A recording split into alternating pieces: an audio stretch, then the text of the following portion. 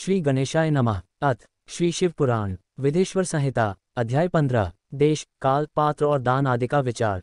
ऋषियों ने कहा, समस्त पदार्थों के ज्ञाताओं में श्रेष्ठ सूत जी। अब आप क्रमशः देश, काल आदि का वर्णन करें।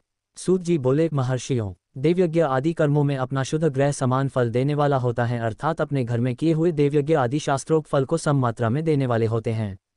गौशाला का स्थान घर की अपेक्षा दस गुना फल देना है।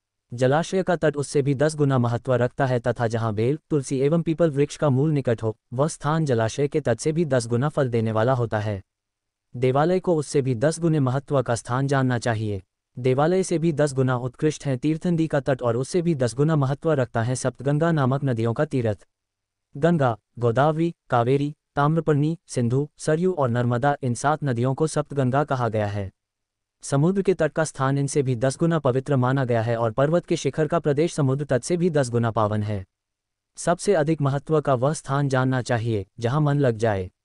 यहाँ तक देश का वर्णन हुआ, अब काल का तारतम्य बताया जाता है। सत्ययुग में यज्ञ, दान आदि कर्म पूर्ण फल देने वाले होते हैं, ऐसा जानना चाहिए। त्रेतायुग में उसका तीन चौथाई फल मिलता है। द्वापर में सदा आधे ही फल की प्राप्ति कही गई है। कलियुग में एक चौथाई ही फल की प्राप्ति समझनी चाहिए और आधा कलियुग बीतने पर उस चौथाई फल में से भी एक चतुर्थांश कम हो जाता है। शुद्ध अंतकरण वाले पुरुष को शुद्ध एवं पवित्र दिन समफल देने वाला होता है। विद्वान ब्राह्मणों, सूर्य संक्रांति के दिन किया हुआ सत्कर्म पूर्वोक्त शुद्ध दिन की अपेक्षा दस गुना फल देने वाला होता है, यह जानना चाहिए। उससे भी दस गुना महत्व उस कर्म का है, जो विशुभ नामक ज्योतिष के अनुसार वह समय जबकि सूर्य विशुभ रेखा पर पहुँचता है और दिन तथा रात दोनों बराबर होते हैं। वर्ष में दो बार आता है, एक तो सौर चैत्र मास की नवमी तिथि या अंग्रेज़ी 21 मार्च को और दूसरा सौर आश्विन की नवमी तिथि या अंग्रेज़ी 22 सितंबर को। योग में किया जाता है। दक्षिणायन आरंभ होने के दिन अर्थात कर्क की संक्रांति में किए हुए पुण्यकर्म का महत्व विश्व से भी दस गुना माना गया है। उससे भी दस गुना मकर संक्रांति में और उससे भी दस गुना चंद्रग्रहण में किए हुए पुण्य का महत्व है। सूर्य ग्रहण का समय सबसे उत्तम है। उसमें किए गए पुण्यकर्म का फल चंद्रग्रहण से भी अधिक और पूर्ण मात्रा में होता है, इस बात को विज्ञ पुरुष जानते हैं। जगद्रोरूपी सूर्य का राहुरूपी विष से संयोग होता है, इसलिए सूर्य ग्रहण का समय रोग प्रदान करने वाला है। अतः उस विष की शांति के लिए उस समय स्नान, दान और जप करें। यह काल विष की शांति के लिए उपयोगी होने के कारण पुण्यप्रद माना गया है। जन्म नक्षत्र के दिन तथा व्रत की पूर्ति के दिन का समय सूर्य ग्रहण के समान ही समझा जाता है। परंतु महापुरुषों के संग का काल करोड़ों सूर्य ग्रहण के समान पावन है, ऐसा ज्ञानी पुरुष जानते मानते हैं। तपोनिष्ठ योगी और ज्ञाननिष्ठ यति, ये पूजा के पात्र हैं, क्योंकि ये पापों के नाश में कारण होते हैं। जिसने 24 लाख गायत्री का जप कर लिया हो, वह ब्राह्मण भी पूजा का उत्तम पात्र है। वह संपूर्ण फलों और भोगों को देने में समर्थ है।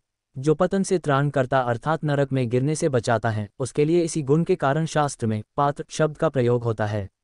यह दाता का पातक से त्राण करने के कारण पात्र कहलाता है।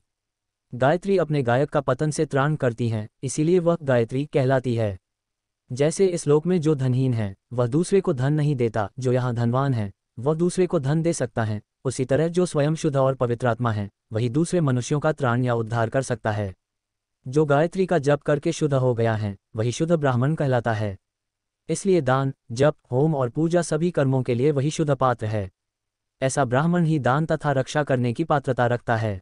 स्त्री हो या पुरुष जो भी भूखा हो, वही अन्नदान का पात्र है। जिसको जिस वस्तु की इच्छा हो, उसे वह वस्तु बिना मांगे ही दे दी जाए तो दाता को उस दान का पूरा पूरा फल प्राप्त होता है, ऐसी महर्षियों की मान्यता है। जो सवाल या याचना करने के बाद दिया गया हो, वह दान आधा ही फल देने वाला बताया गया है। अपने सेवक को दिया हुआ दान एक चौथाई फल देने वाला होता है। विप्रवरो, जो जाति मात्र से ब्राह्मण है और दीनतापूर्ण वृत्ति से जीवन बिताता है, उसे दिया हुआ धन का दान दाता को इस भूतल पर दस वर्षों तक भोग प्रदान करने वाला होता है। वही दान यदि वेदवेता ब्राह्मण को दिया जाए तो वह स्वर्गलोक में देवताओं के वर्ष से दस वर्षों तक दिव्य भोग देने वाला होता है। शील और उच्च वृत्ति से लाया हुआ और गुरुदक्षिणा में प्राप्त हुआ अन्न धन शुद्ध द्रव्य कहलाता है। उसका दानदाता को पूर्ण फल देने वाला बताया गया है। क्षत्रियों का शौर्य से कमाया हुआ, वैश्यों का व्यापार से आया हुआ और शूद्रों का सेवावृत्ति से प्राप्त किया हुआ धन भी उत्तम द्रव्य कहलाता है। धर्म की इच्छा रखने वाली स्त्रियों को जो धन, पिता एवं पति से मिला हुआ हो, उनके लिए वह उत्तम द्रव्य है। गौ आदि बारह वस्तुओं का चैत्र आदि बारह महीनों में क्रमशः दान करना चाहिए। गौ, भूमि, तिल, सुवर्ण, घी, वस्त्र, धान्य, गुड़, चांदी, नमक, कोहरा और कन्या, यही वे बारह वस्तुएँ हैं। इनमें गोदान से कायिक, वाचिक और मानसिक पापों का निवारण तथा कायिक आदि पुण्य कर्मों की पुष्टि होती है। ब्राह्मणों, भूमि का दान इहलोक और परलोक में प्रतिष्ठा, आश्रय की प्राप्ति कराने वाला है। तिल का दान बलवर्धक एवं मृत्यु का निवारक होता है। सुवर्ण का दान जठराग्नि को बहाने वाला तथा वीर्यदायक है। घी का दान पुष्टिकारक होता है। वस्त्र का दान आयु की वृद्धि कराने वाला है, ऐसा जानना चाहिए। धान्य का दान अन्नदान मधुर भोजन की प्राप्ति कराने वाला होता है। चांदी के दान से वीर्य की वृद्धि होती है। लवण का दान षडरस भोजन की प्राप्ति कराता है। सब प्रकार का दान सारी समृद्धि की सिद्धि के लिए होता है। विज्ञ पुरुष कुष्मांड के दान को पुष्टिदायक मानते हैं। कन्या का दान आजीवन भोग देने वाला कहा गया है। ब्राह्मणों, वह लोक और परलोक में भी संपूर्ण भोगों की प्राप्ति कराने वाला है। विद्वान पुरुष को चाहिए कि जिन वस्तुओं से श्रवण आदि इंद्रियों की तृप्ति होती है, उनका सदा दान करें। श्रोत आदि दस इंद्रियों के जो शब्द आदि दस विषय हैं, उनका दान किया जाए तो वे भोगों की प्राप्ति कराते हैं तथा दिशा आदि इंद्रिय देवताओं को संतुष्ट करते हैं। वेद और शास्त्र को गुरुमुख से ग्रहण करके गुरु के उपदेश से अथवा स्वयं ही बोध प्राप्त करने के पश्चात जो बुद्धि का यह निश्चय होता है कि कर्मों का फल अवश्य मिलता है, इसी को उच्च कोटि की आस्तिकता कहते हैं। भाई बंधु अथवा राजा के भय से जो आस्तिकता बुद्धि या श्रद्धा होती है, वह कनिष्ठ श्रेणी की आस्तिकता है। जो सर्वथा दारिद्र है, इसलिए जिसके पास सभी वस्तुओं का अभाव है, वह वाणी अथवा कर्म शरीर द्वारा यजन करे। मंत्र, स्तोत्र और जप आदि को वाणी द्वारा किया गया यजन समझना चाहिए तथा तीर्थयात्रा और व्रत आदि को विद्वान पुरुष शारीरिक यजन मानते हैं। जिस किसी भी उपाय से थोड़ा या बहुत देवतार्पण बुद्धि से जो कुछ भी दिया अथवा किया जाए, वह दान या सत्कर्म भोगों की प्राप्ति कराने में समर्थ होता है। तपस्या और दान ये दो कर्म मनुष्य को सदा करने चाहिए तथा ऐसे ग्रह का दान करना चाहिए, जो अपने वर्ण, चमक, दमक या सफ़ाई और गुण, सुख सुविधा से सुशोभित हो।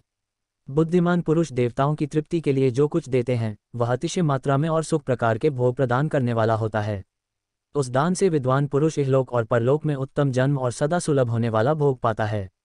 ईश्वरार्पण बुद्धि से यज्ञ, दान आदि कर्म करके मनुष्य मोक्ष फल का भागी होता है।